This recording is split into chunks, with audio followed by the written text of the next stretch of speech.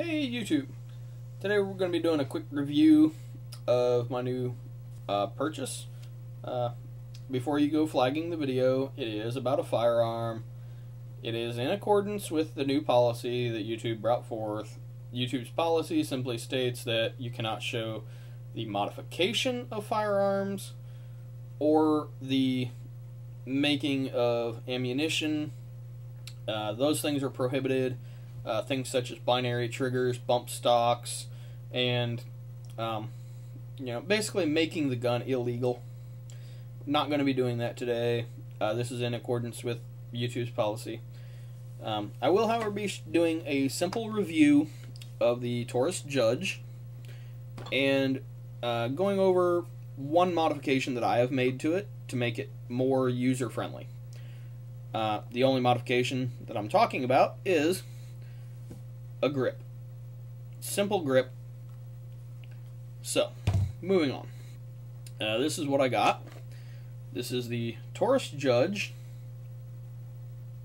and the ATI Scorpion X2 grip. Uh, not this video is not endorsed in any way by ATI.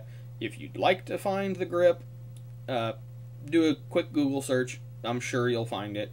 It's not hard to find. I found mine for about twenty dollars.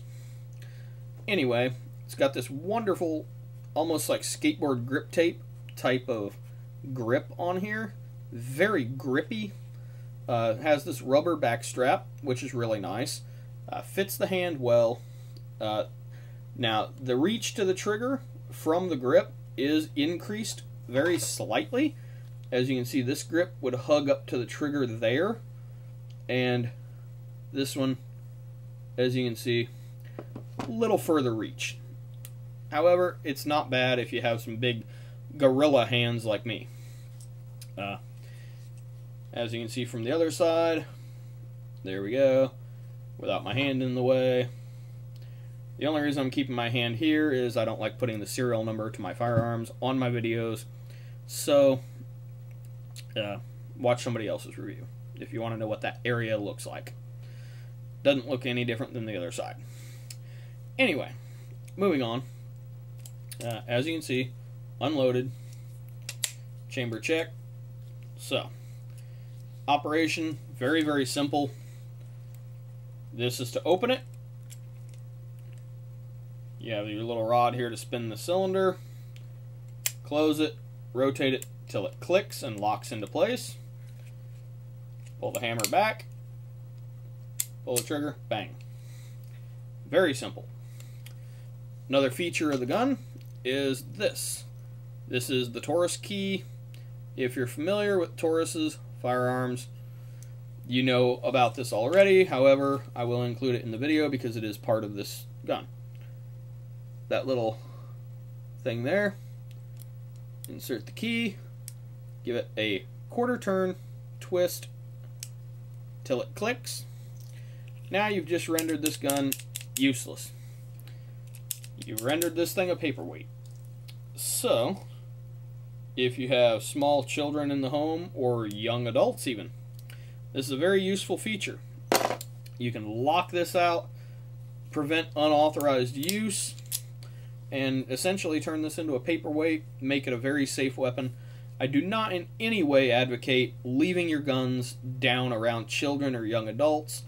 Keep your guns safe, keep it locked up, uh, keep it ready but keep it safe. Uh, safety is a big issue with a lot of people, uh, especially if you have small children. Uh, just make sure you're keeping everything safe. You know, keep it out of their reach if at all possible. Um, I know a lot of you can't really afford, you know, huge gun safes and things like that, so you're, you know, trying to keep your gun somewhere that's hidden that's not a foolproof method. Kids are smart. Some kids are smarter than their parents. So keep it out of their reach. Keep it safe. Keep it locked up. Um, if you can't afford anything else, put a trigger lock on it. It may be big, it may be bulky, but it keeps them safe. Uh, anyway, I'll wrap this video up by saying uh, everybody out there stay safe. Uh, review the YouTube policy for yourself and realize that they're not all anti-gun. They're not gun grabbers going and coming after your guns. They're not trying to demonize every video about guns. Uh, they're simply just trying to take some of the bad content off of YouTube, and I welcome that.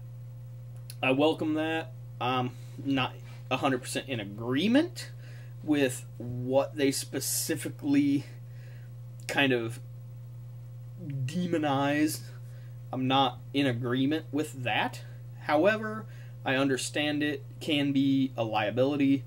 Videos telling people to put themselves in dangerous situations. Um, also, the manufacturer of ammunition. Uh, that's something that I do not blame them at all for taking that off of YouTube. Um, especially videos that have people doing stupid things with firearms.